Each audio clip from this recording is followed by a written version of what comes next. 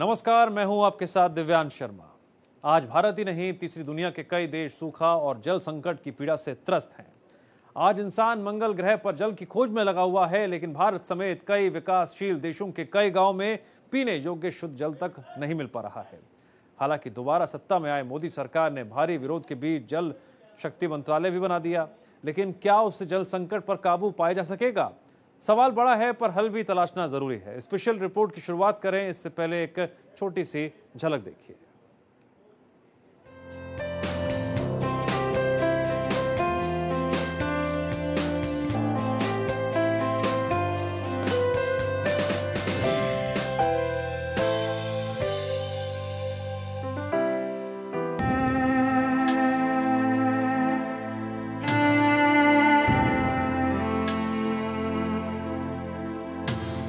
जल ही जीवन जल सा जीवन, जल्दी ही जल जाओगे। अगर न बची जल की बूंदें, कैसे प्यास बुझाओगे?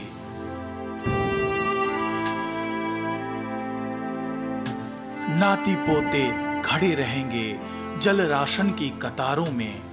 पानी पर से बिछेंगी लाशें लाखों और हज़ारों में।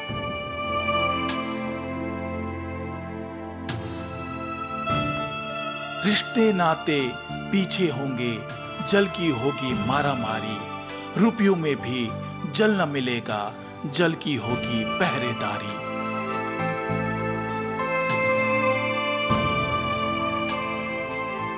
हनन करेंगे शक्तिशाली नदियों के अधिकारों का, सारे जल पर कब्जा होगा, बाहुबली मतकारों का।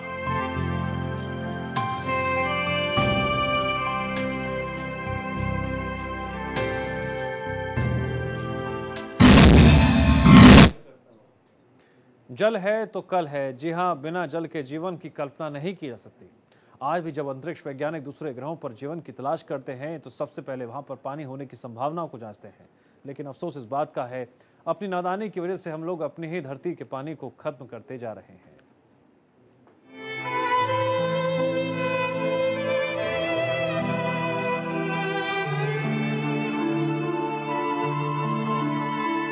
मैंने अपनी खुश्क आँखों से लहू छलका दिया।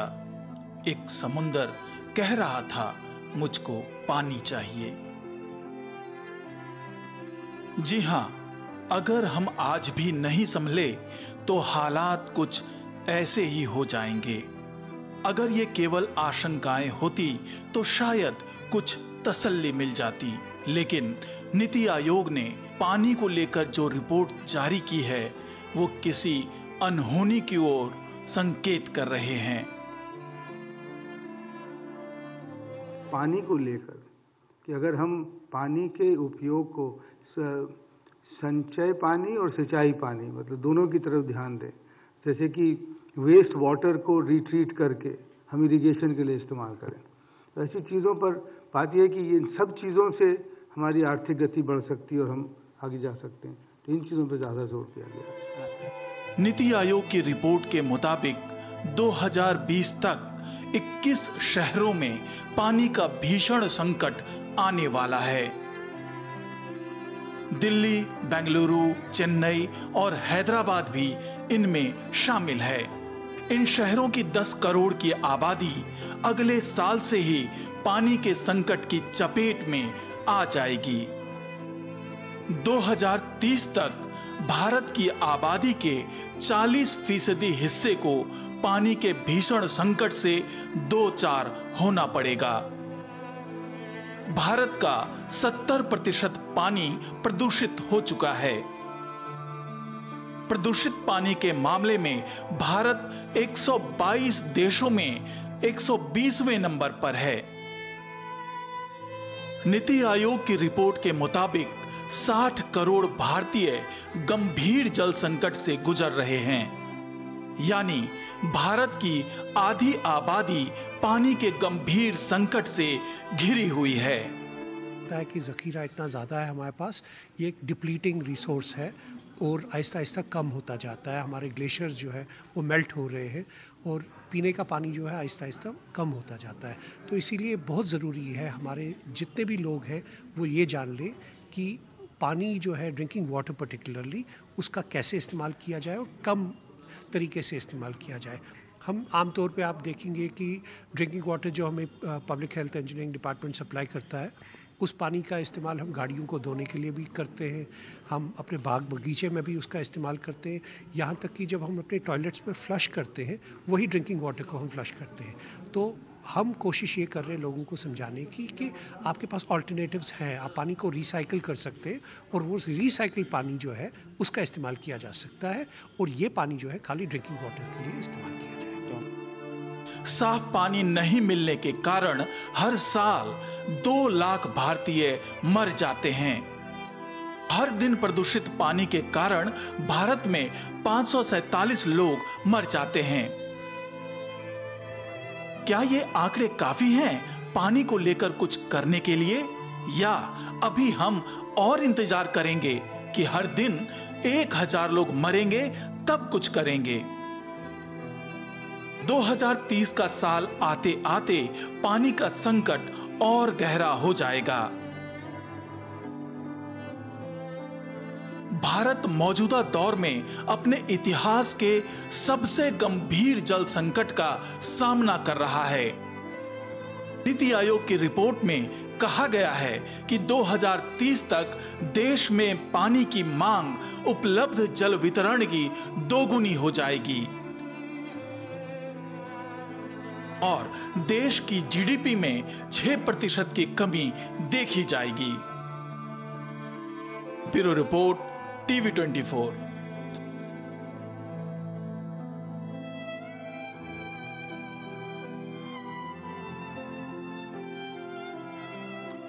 जल संकट अब आशंकाओं से आगे बढ़कर हकीकत में तब्दील हो चुका है। कश्मीर से लेकर कन्याकुमारी तक पानी के लिए हाहाकार मचा हुआ है।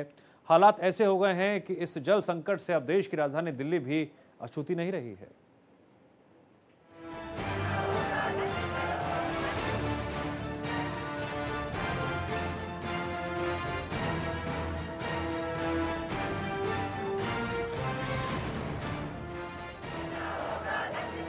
देश भर में जल समस्या को लेकर धरना प्रदर्शन हो रहे हैं। जनता इसके लिए सरकार को जिम्मेदार ठहरा रही है और सरकारी रिपोर्ट में इस जल संकट के लिए जनता को दोषी बताया जा रहा है। लेकिन अब मामला एक दूसरे को दोषी ठहराने से आगे निकल चुका है। अब सवाल जीवन और मरण का है।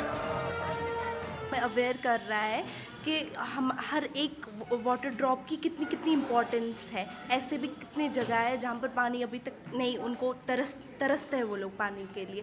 तो उस लिहाज से ये हमें इम्पोर्टेंस दे रहा है कि हम कितना वेस्ट करते हैं और कितना हमारे को देखना है मैनेजमेंट पानी की करनी है, ताकि सबको इक्वली डिस्ट्रीब्यूट हो जाए पानी। पिछले कुछ दिनों में चेन्नई और कोयम्बटूर से लेकर शिमला और जम्मू कश्मीर तक से पानी की किल्लत की खबरें आई हैं। राजस्थान और दिल्ली से लेकर बिहार के कई इलाकों के लोग जल संकट से जूझ रहे हैं। सिर्फ़ मैं लोगों को ये कहना चाहूँगी कि जब भी वो नल खोलते अपना टैप तो वो दो बातों पर गौर करना है। एक ये कि ये पानी कहाँ से आ रहा है। हम नल खोलते हैं तो हमें पानी मिल जाता हम कभी गौर नहीं करते कि किस ग्लेशियर से आ रहा है, नदी से आ रहा है, कहाँ से आ रहा है। और हमें तो टैप खोल के मिल जाता है शहर में। क्या लोगों को पानी दस्तयाब है और ये कोई दूर दराज की राजस्थान के गाँव की बात नहीं है, यहाँ अनंतनाग में अच्छा बल जिसको पानी का शहर कहा जाता है। वहाँ ऐसे कुछ गाँव हैं, हैमलेट हैं, जहाँ पानी को ट्रक के ज़रिए, टैंकर के ज़रिए पहुँचाया जाता है और हफ़्ते में दो दिन पहुँचाया जाता है। पूरा बुंदेलखंड सूखे की मार झेल रहा है। मध्य प्रदेश में शिप्रा नदी को ज़िंदा करने के लिए नर्मदा का सहारा लेना पड़ता है। लोगों तक पानी पहुँचाने के लिए अकेले मध्य प्रदेश में ही 15 साल में पैंतीस हज़ार करोड़ रुपए खर्च कर दिए जाते हैं। पहले गाँव और कस्बों में भी ऐसी ही तस्वीरें दिखती थी।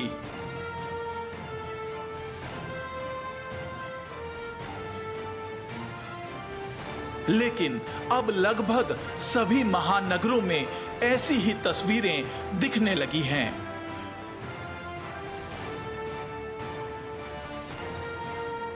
ये तस्वीरें उन सब भ्रांत लोगों को विचलित कर सकती है, जिनके नलों में 24 घंटे बिना किसी रोक टोक के पानी आ रहा है।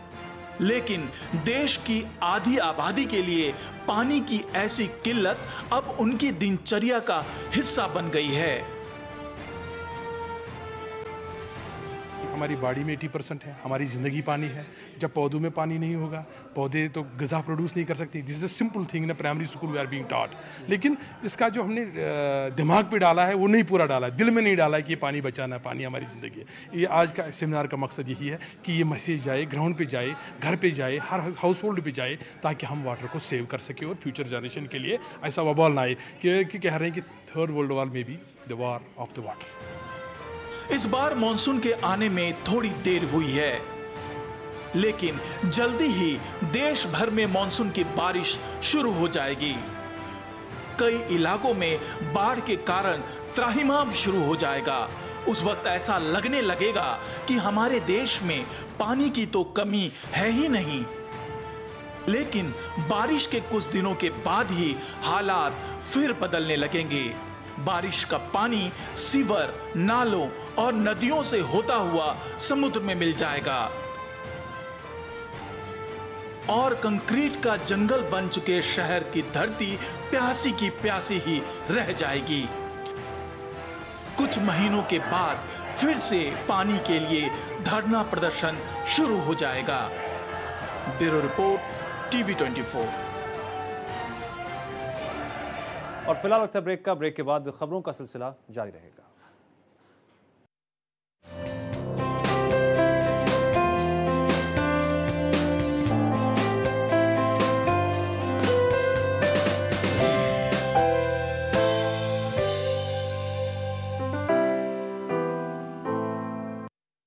देश में पानी के लिए हाहाकार मचा हुआ है, ये समस्या कितनी विकराल हो चुकी है, ये बताने की ज़रूरत भी नहीं। लेकिन ये जानना भी बेहद ज़रूरी है कि आखिर समस्या की जड़ में क्या है।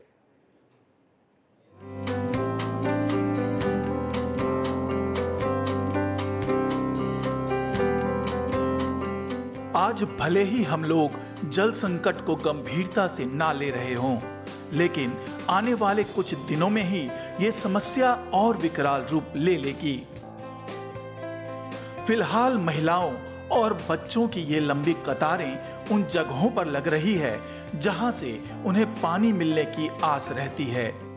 लेकिन अगर हालात नहीं बदले तो ऐसी ही लंबी कतारें शमशान और कब्रिस्तान के आगे लगने लगेगी। महानगरों की बात करें तो चेन्नई इसका जीता जागता उदाहरण है। यहाँ पर पिछले तीन साल से सूखे जैसे हालात हैं। समस्या इस कदर विकराल रूप लेती जा रही है कि यहाँ का होटल व्यवसाय पानी की किल्लत के कारण ठप होने की कगार पर पहुँच गया है। पानी नहीं होने के कारण कई होटल पर तो मानसून आने तक ताला लगा दिया गया है। यहाँ पर अस्पताल तक में पानी नहीं है। आईटी सेक्टर में भी कहा जा रहा है कि लोग घरों में रहकर काम करें दफ्तर न आए। सरकार ने पानी की सप्लाई में 40 प्रतिशत की कटौती कर दी है। आइए अब जानते हैं कि चेन्नई में आखिर ऐसे हालात बने ही क्यों। समस्या भाई साहब बहुत ही समस्या। जाने कौन चुका है समस्या? नल तो लगे हैं लेकिन आज लगे हैं जो में आता ही नहीं ना पानी। खुला ही नहीं रहा है यहाँ देखने आते हैं। कोई राज्य मंत्री यहाँ आता है? इस गाँव को कौन आएगा? अब आप लोग भी इसको वीडियो बना रहे हो मेरे, को तो आशा यह है कि आप लोग मेरी मदद करोगे। अब जब हमारे यहाँ बच्चों की शादी नहीं होगी तो इस गाँव का क्या हाल होगा? बदनाम ये कि तुम्हारे गाँव में पानी नहीं है। तो ये बोलिए हमारा घर ज़मीन ये छोड़ के हम कहाँ जाएँ? या तो फिर हमें शासन पानी की व्यवस्था करके दे नहीं तो हमारी प्रॉपर्टी का मुआवजा दे दे मैं किसी और गाँव को पलायन कर जाऊँगा। दरअसल मद्रास रेसिडेंसी में कभी हज़ारों तालाब हुआ करते थे, मगर उन्हें भरकर शहर के लिए प्लॉट काट दिया गया। चेन्नई शहर की अडियार नदी के फ्लड बेसिन में एयरपोर्ट बना दिया गया। यहाँ की दलदली ज़मीन को भरकर मास रैपिड ट्रांजिट सिस्टम बना दिया गया। हालात ऐसे बने कि दिसंबर 2015 में चेन्नई बाढ़ में डूब गया। और सैकड़ों लोग मारे गए थे। बारिश का पानी सोख सके, इसके लिए प्रकृति ने जो ज़मीन दी थी, वो गायब हो गई। उसके बाद से ही यहाँ सूखा ही सूखा है। चेन्नई को एक केस स्टडी के तौर पर देखा जा सकता है। वहाँ पर जिस तरह की लापरवाही बरती गई, कमोबेश, वैसी ही लापरवाही देश भर में विकासशील शहरों में बढ़ती जा रही है। वहाँ भी तालाबों को भरकर घर बनाए जा रहे हैं। शासन से कई बार अपने पंचायत से प्रस्ताव दिए हैं। जिला संलेखों से राज्य सरकार तक। अपने जो पंचायत स्तर से कार्यवाही करते हैं तो पूर्ण कर चुके अभी हमने जो, क्या है, निर्मल नीर का कुआ खुदवाया है। इसको अड़तीस फुट गहरा करवा दिया। शासन से इसमें चौंसठ हज़ार रुपये अभी तक मिले इसमें लागत कम से कम तीन लाख पैंसठ सत्तर हज़ार रुपये लगा चुका मैं। दो हम मैंने स्वयं करवा दिए छह सौ फुट गहरे। परंतु जल स्तर छह सौ फुट के नीचे है। उसके ऊपर पानी नहीं फंसा। यहाँ तो कोई सुविधा ही नहीं है मतलब इसका ये है कि इस गाँव में मतलब कोई अधिकारी ऑफिसर मतलब इसकी इंक्वायरी करने को नहीं आता है। यहाँ पानी की व्यवस्था तो नदी में थोड़ा सा पानी है उसी से गाँव वाले सब गाड़ी चढ़ के ले आते हैं पानी को। अच्छा। करीब ढाई किलोमीटर दूर। अच्छा। यहाँ कोई सुविधा ही नहीं है कभी पंचायत के गाँव मतलब गाँव में कोई कभी काम ही नहीं हुआ है। बारिश के पानी के इस्तेमाल का कोई तरीका नहीं अपनाया जा रहा है। पूरा शहर कंक्रीट जंगल में तब्दील होता जा रहा है। भू माफिया पहले सरकारी रिकॉर्ड रूम से तालाबों का रिकॉर्ड गायब करवाते हैं, फिर तालाब को भरने में लग जाते हैं। इसकी एक बड़ी वजह बारिश में आई कमी भी है, लेकिन उसके लिए भी हम ही जिम्मेदार हैं। अगर बारिश के पानी को चेक डैम या तालाबों के ज़रिए रोक लिया जाए तो साल भर खेती के लिए और पीने की पानी की समस्या नहीं होगी। दरअसल, हमने जल संरक्षण के पारंपरिक तौर तरीकों को धीरे धीरे भुला दिया है और कंक्रीट के जंगल खड़े करते गए हैं। दूसरी ओर, अंधाधुंध तरीके से भूजल का दोहन करते जा रहे हैं। बारिश के पानी का संग्रह नहीं करने और बारिश में कमी होने से जल स्तर नीचे जाने लगा है। जब हैंडपंप नाकाम होने लगे तो लोग समरसेबल पंप लगाने लगे, जिससे भूजल का और तेज़ी से दोहन होने लगा। लेकिन ऐसा कब तक चलेगा? भूजल का स्तर लगातार नीचे जाएगा और फिर जल संकट और गंभीर होगा। कमोबेश, यही स्थिति अन्य शहरों की भी है। अगर हमने आज की गलतियों से सबक नहीं लिया तो आने वाला कल हमें माफ़ नहीं करेगा। हमें अपने साथ साथ अपनी अगली पीढ़ियों की भी फ़िक्र करनी पड़ेगी। हमें ये समझना होगा कि जल है तो कल है। ब्यूरो रिपोर्ट, टीवी 24 जी हाँ पानी ने जिस तरह समस्या ने जिस तरह से विकराल रूप धारण कर लिया है, अगर यही हालात बने रहे तो आने वाले दिनों में समस्या और भी ज़्यादा बढ़ सकती है। तभी तो हम कह रहे हैं कि जल है तो कल है, सिस्टम को ये समझना होगा, सोचना होगा।